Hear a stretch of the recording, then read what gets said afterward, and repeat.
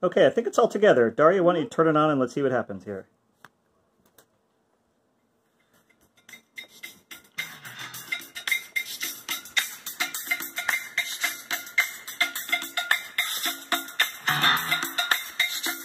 It is indeed working. Okay, great. So now the next thing for us to do will be, I see Daria's playing with the volume, which is cool, and we can put that knob on when we put it in a box. Uh, but the next thing for us to do will be to figure out how to put this into some kind of enclosure where it's stable and all these wires and pieces don't fall apart. All right, see you all soon. Bye-bye. Bye.